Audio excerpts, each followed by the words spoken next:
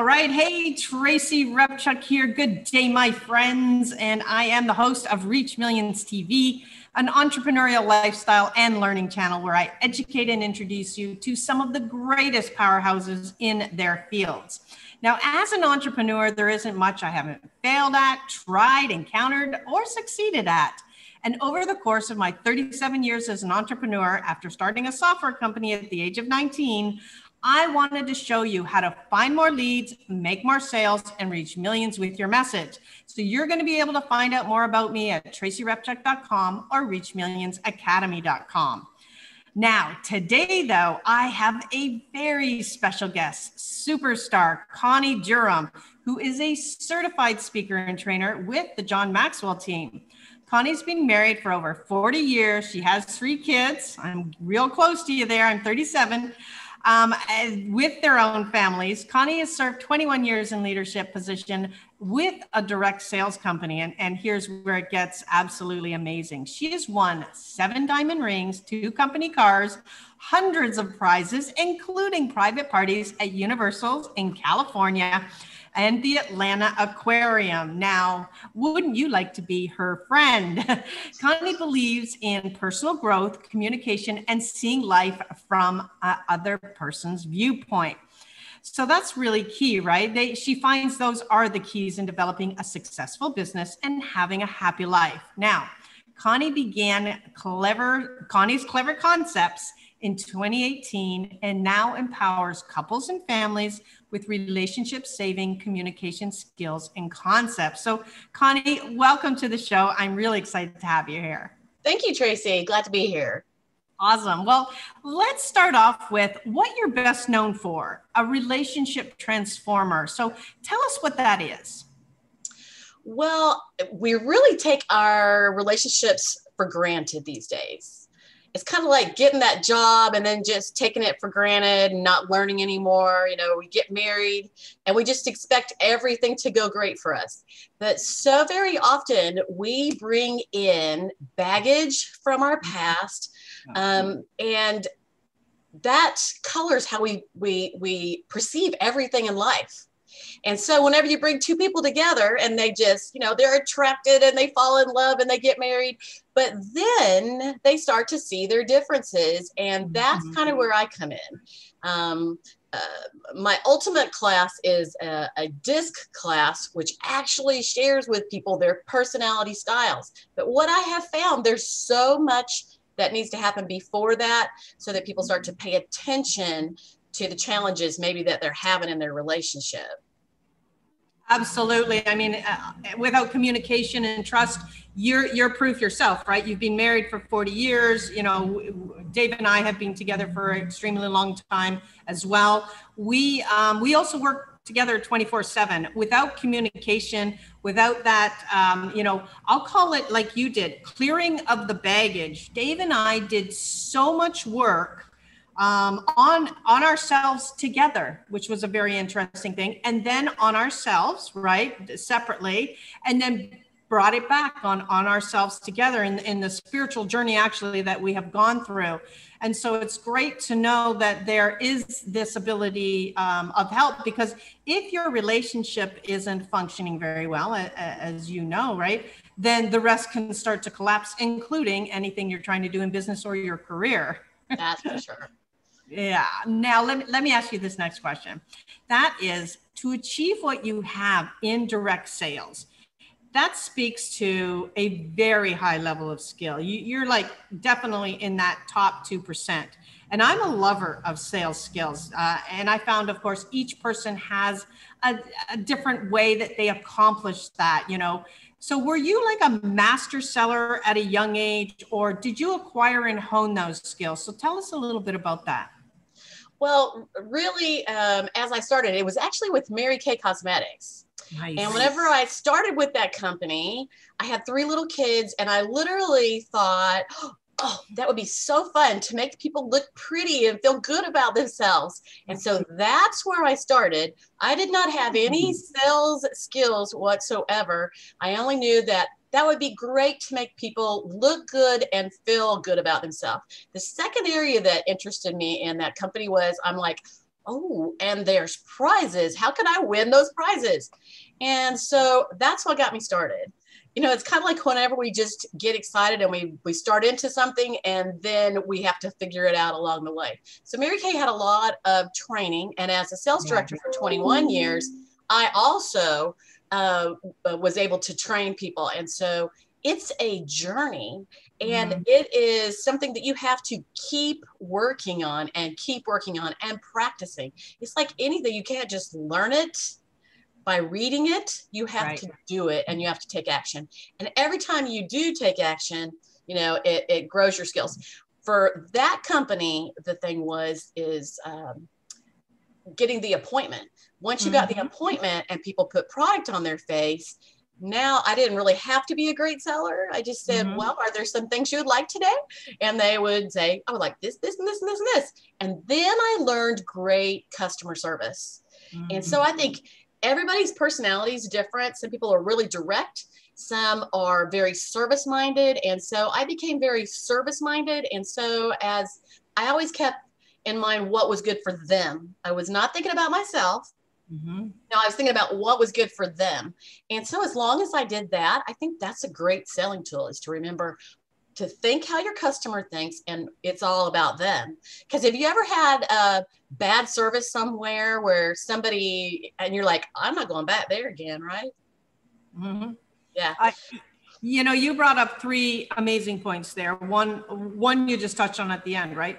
The the ability for somebody to talk about a bad experience is is on the same order of magnitude as a great experience right? You know especially women we go out and we say oh my god that was like the best food. You just have to go to this restaurant. We're natural recommenders but at the same time right we'll go out and we will say man don't don't go anywhere near that. The food was horrible or this was horrible about that and that is why customer service as you learn so so early is key. And then how did you take that where you are and move that into the the business and and and kind of what you're doing now Okay, that's a great question. Thanks for that. All right, so as I uh, was with Mary Kay, I was actually with the company for 30 years. And for wow. 21, I was a director.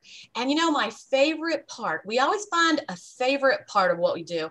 My favorite part was sharing with my consultants, helping them grow and seeing them grow. And so my passion really became to pour into others. And I was um, more excited about that than anything else was to pour into others and to be able to watch them grow and them succeed and and they, you know watch them do great and so you know change does not happen very easily so in 2004 i had went to a uh, DISC training for an entire week. I spent an entire week learning about this. We used it a little bit in Mary Kay, and I thought this is intriguing. And that is the study of the personality styles. And I actually mm-hmm. call that the hardwired behavior blueprint because when people start to learn what that is, they can learn about themselves, they learn where they're good, they learn where they have challenges.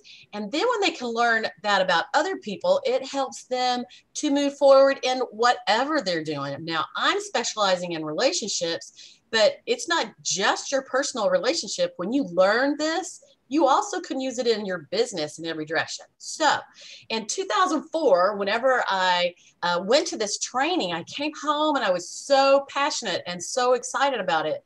And, um, you know, I was still a director in Mary Kay. And, you know, there's many of us, we work something for 20 years and then like, we need something else. I need somewhere else to mm-hmm. grow. That excites me.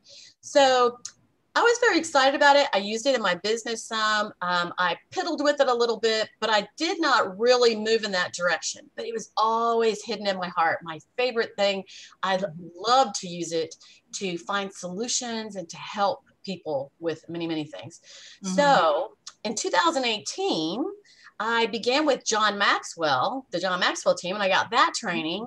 And I had no idea what direction uh, that God was leading me. And I literally felt led. It was one thing in front of the other one that just happened and moved me a little more forward and a little more forward.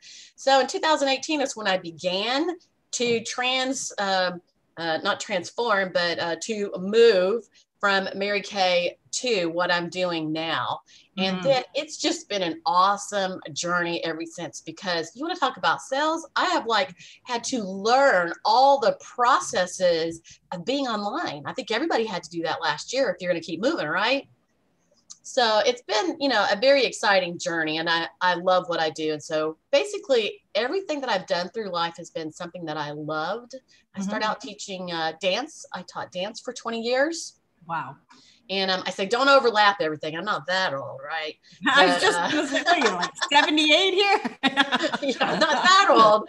So, you know, Yeah. things always overlap. You know, you sometimes you Yeah, gotta begin something new before you let go of something old. And then you Yeah. know when that point is when you have to let go of the other so you can focus on your one thing, that thing that's most important to you.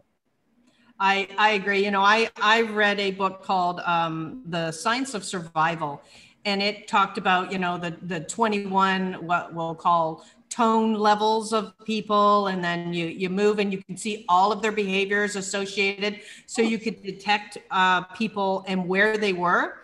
What I really loved about this book is you could meet somebody and you could know, you know, hey, that is a person I should totally connect with. I should hang out with, would be a great client, or this is a person that would be a disaster to hire, to hang out with, all of it, right? It showed you the entire scope so that you knew as well how to keep yourself safe as you grow because because as we get bigger as we reach larger audiences we you know a lot of vampires dream stealers start to come in and want to take you down a peg or two. And and i found at one point in my life that uh, that was happening to me. And and and i started to shrink and pull back and be quieter and not come on camera and not do all of these things. After i read that book and started to apply the technology as you've mentioned um, that changed everything for me. I just became a warrior because I knew this person, I don't need them uh, in my life or near me. They're gone, you know, banned, gone, deleted, whatever uh, needs They're- to happen. Dream stealer, right? You Yeah. gotta stay away from the dream stealers. Yeah. Yeah, absolutely. Now, i- i- lots of things that you've done, I can also see, you know, you built a team, you had to have, you are a leader. You couldn't have gone where you did in Mary Kay or be where you are if you weren't. You know, what was your was your favorite part of that? My favorite part of growth or building a team or any of it you know uh, what what really cranked your juice because because uh, uh, that's not easy you know i'm in a leadership position as well and there's a lot of responsibility and it's hard and you're managing all of these things but what was your favorite part? Well, I would say one of the very important things about my past business, which was being a sales director with Mary Kay, was the support. And see, quite often entrepreneurs are out there by themselves and they don't have that support. They don't have anybody to lift them. But my answer to that, if you don't have a team of people, there's several things that you can do. You know, you can join a mastermind group of professionals where you all kind of support each other and that kind of thing. Um, for me, I had never been a reader, and it shows that, you know, what you do at this time does not mean what you'll do in 10 years. So suddenly, as I began this, I began to crave information, to crave uh, training, and all of this kind of thing. So I also read positive books. And, you know, my mama always said, don't write in your books.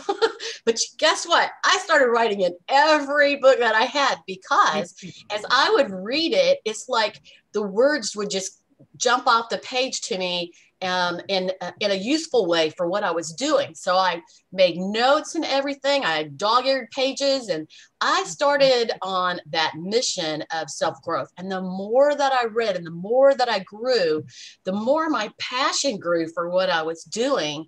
And it was not an easy journey, though.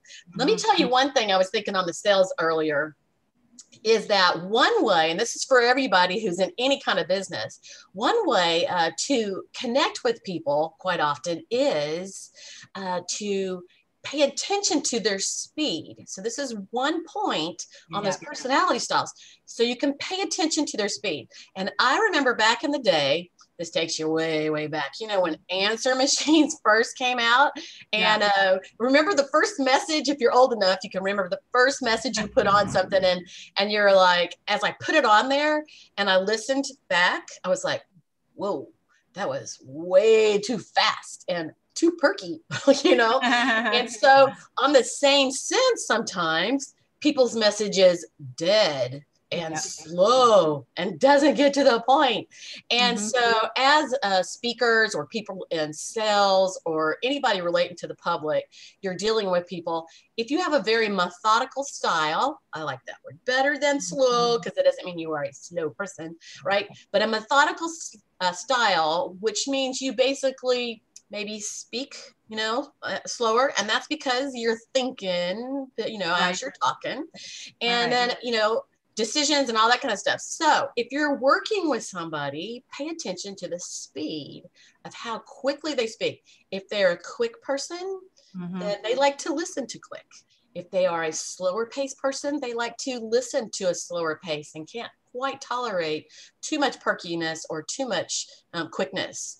And so that's a great um, tool, you know, for everybody to apply today to whatever they're they're doing.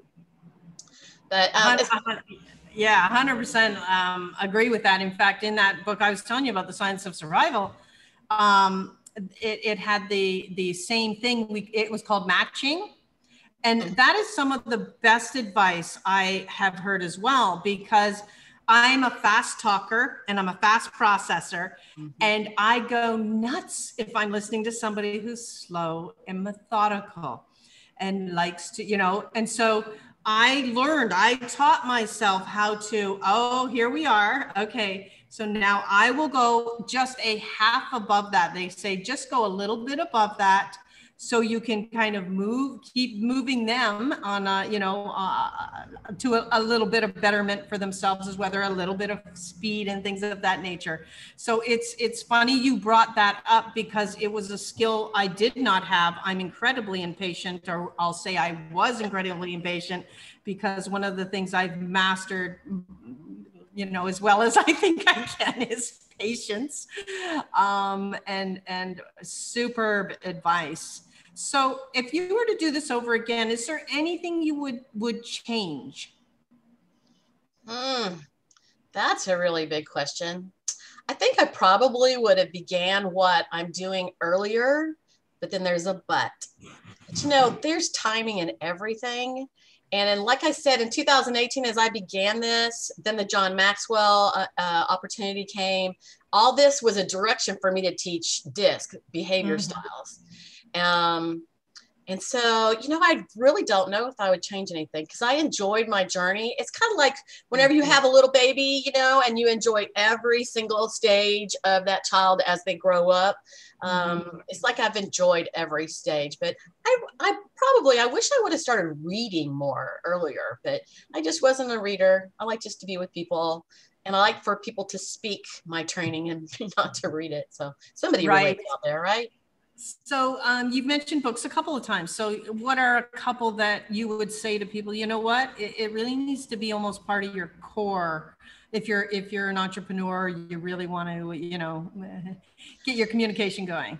Well, a couple of the books that I especially uh, something that made a big difference to me uh, was the one thing, and it's. Uh, uh, I'm a visual person. I could tell you it's a white Me book too. with black writing. Um, it says the one thing. And I'd already heard that many, many times before, even back in my Mary Kay training. But mm-hmm. suddenly one day I read that and I realized. So as I started my own business as an entrepreneur without all the guidance of a big company like Mary Kay, I had mm-hmm. to figure it out as I went. And one of the biggest things that kills an entrepreneur is focusing on too many things at once. You know, what does a confused mind to do? Nothing, Nothing. right? so uh, the one thing was really an important book. There again, I read it right at mm-hmm. the time when I needed to do that. And so um, also the John Maxwell books because I read a bunch of those, and they have a lot of success uh, success techniques in them.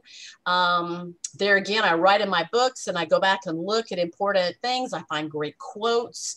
I like anything also that encourages me and keeps me lifted. So Tracy, just like you talked about um, you know, that challenge sometimes of being an entrepreneur and the ups and the downs, the ups and the downs. And sometimes that word no from people, you know, no just means maybe they need more information or it's not good for them right now.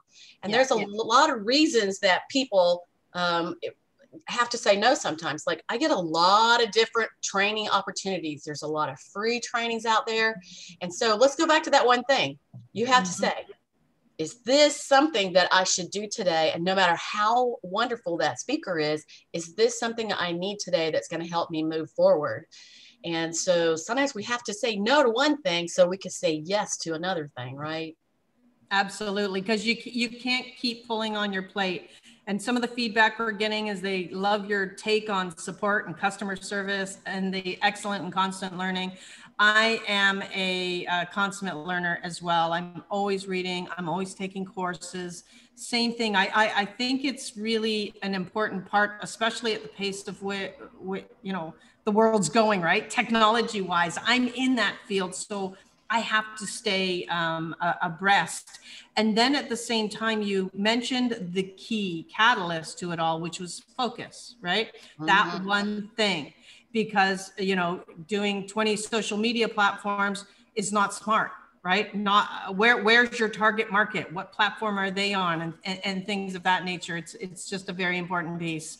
So um you know it's been it's been so much fun really uh, getting to know you better to to introducing you to my audience and to really showing both sides of you like where you have come you came from direct sales and you're in a different area now, like I think everybody, right? We are evolving. Every single thing we do is a stepping stone and a, a piece that we needed to be able to do the, the thing where, you know, I'll call it destined to do, have to mm-hmm. do.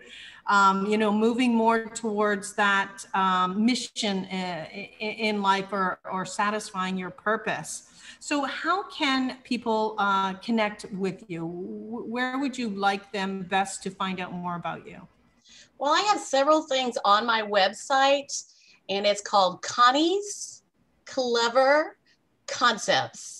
And when I began my business, um, you know, I was headed in the direction of business and sharing the personality styles to team build with businesses. Mm-hmm.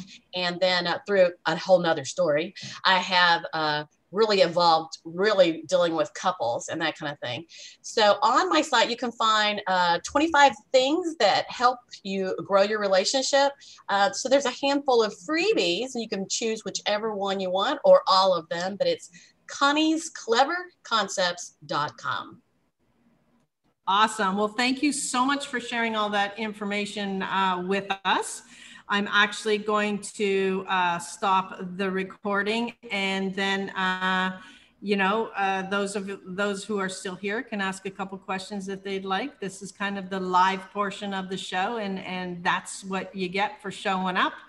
And um, those that don't, uh, you can watch this replay, enjoy the information, and connect with Connie after.